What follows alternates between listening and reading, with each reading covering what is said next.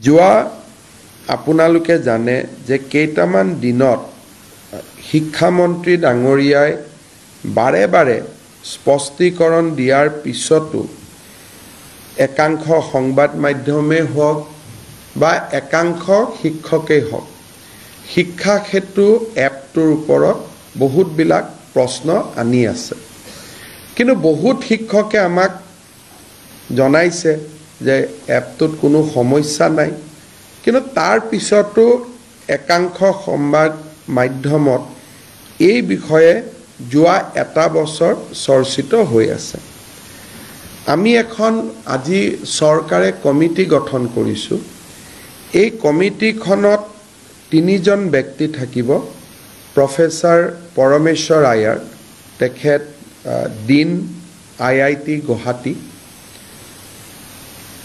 Professor Sharat Kumar Patra তেওঁ director Indian information of technology Guwahati doctor Hiten Choudhury তেওঁ cotton কলেজৰ head of the department computer science and information technology অৰ্থাৎ ৰাজ্যত information টেকন'লজিৰ ওপৰত যদি কোনোবা বিশেষজ্ঞ বা কম্পিউটাৰৰ ওপৰত যদি আমি বিশেষজ্ঞ বুলি কওঁ এওঁলোকতকৈ আৰু ওপৰত বিশেষজ্ঞ আজিৰ দিনত হয়তো আমাৰ ৰাজ্যত দুই চাৰিজন থাকিলেও ফটক কৰি পাবলৈ টান হ'ব।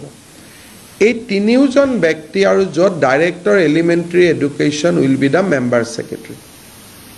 Director elementary এডুকেশ্যনে মেম্বাৰ ছেক্ৰেটেৰী হিচাপে কাম কৰিব। শিক্ষা সেতুৰ গুণগত মানদণ্ডৰ ওপৰত।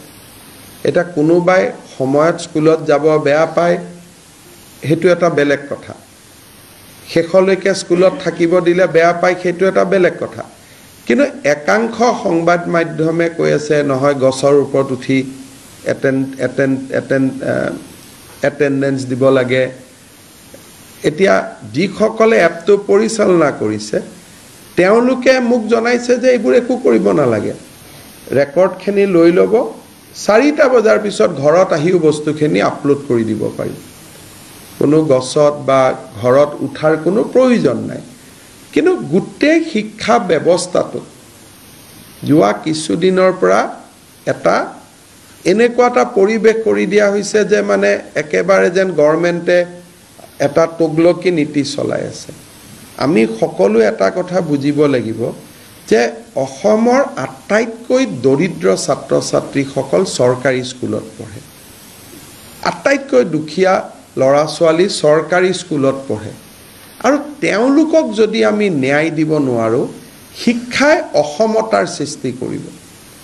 অকল ধনী মানুহৰ ঘৰৰ ল'ৰা ছোৱালী ডাক্তৰ হ'ব ইঞ্জিনিয়াৰ হ'ব আৰু দুখীয়া মানুহৰ ঘৰৰ ল'ৰা ছোৱালী কেতিয়াও ডক্তৰ ইঞ্জিনিয়াৰ হ'ব নোৱাৰিব। গান্ধীজীয়ে কৈছিল যে শিক্ষাই সমতাৰ সৃষ্টি কৰে। শিক education has a equalizing effect in our society কিন্তু যদি চৰকাৰী শিক্ষকসকল স্কুলত নাযায় তে শিক্ষাই ইমান এটা ডাঙৰ অসমতাৰ সৃষ্টি কৰিব যে সেই অসমতা আমি দূৰ কৰিব নোৱাৰোঁ। আজি মই এটা উদাহৰণ দিছোঁ। প্ৰতিদিন বাতৰি কাকতখনে এই ধৰণৰ কথা লিখে গছৰ ওপৰত উঠে গছৰ তলত উঠে। কিন্তু তেওঁৰ বা মোৰ দুইটা ল'ৰা ছোৱালীয়ে প্ৰাইভেট স্কুলত পঢ়িছোঁ। গতিকে এই দুখীয়া দৰিদ্ৰ চৰকাৰী স্কুলত পঢ়া ল'ৰা ছোৱালীৰ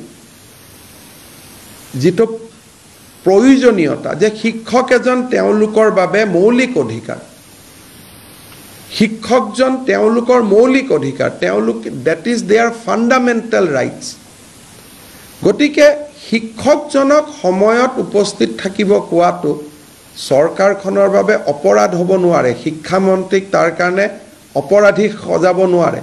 কিন্তু যদি এপটোত কিবা ভুল আছে ডেফিনেটলি আমি ঠিক কৰিব লাগিব। যদি এপটোত সঁচাই গছৰ ওপৰত উঠিহে এপটোত পৰীক্ষা দিব লাগে এটেণ্ডেঞ্চ দিব লাগে দেন শিক্ষা বিভাগে তাৰ উত্তৰ ডেফিনেটলি দিব লাগিব।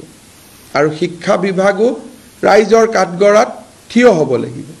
সেইকাৰণে মই অসমৰ শিক্ষক সমাজক অনুৰোধ কৰিম যে যিসকলে এপটোৰ গুণগত মানদণ্ডৰ ওপৰত প্ৰশ্ন কৰিছে তেওঁলোকে ডাইৰেক্টৰ এলিমেণ্টেৰী এডুকেশ্যনৰ ওচৰত তেওঁলোকৰ অভিজ্ঞতাখিনি লিখি দিলে।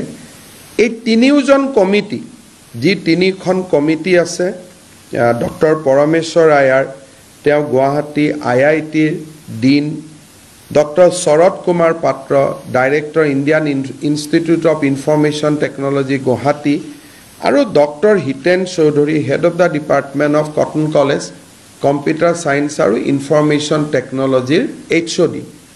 এই তিনিওজন ব্যক্তিয়ে স্কুলবিলাকতো যাব। এপটো নিজে চলাই চাব তাত কিবা ভুল আছে নেকি? আৰু শিক্ষকসকলৰ কথাও শুনিব। আৰু তেওঁলোকে আমাক ছাজেশ্যন দিব যে এপটোক যদি কিবা ভুল আছে আমি কেনেকৈ তাক ইম্প্ৰুভ কৰিব পাৰোঁ। কিন্তু সময়ত যোৱা আৰু সময়ত স্কুলৰ পৰা অহা ইলেকশ্যনত লাগিলে আমাক ভোট দিয়কে বা নিদিয়ক সেই বেচিক নীডটোত আমি কম্প্ৰমাইজ কৰিব নোৱাৰোঁ। কাৰণ সি যদি কৰোঁ তেতিয়াহ'লে আমি মুখ্যমন্ত্ৰী আৰু শিক্ষামন্ত্ৰীৰ আসনত বহাৰ আমাৰ কোনো অধিকাৰেই নাথাকিব। কাৰণ আমি ইয়াতে অসমৰ লাখ লাখ চৰকাৰী বিদ্যালয়ত পঢ়া দৰিদ্ৰ শিক্ষাৰ্থীসকলৰ বাবে আমি ৰাজনীতি কৰিছোঁ।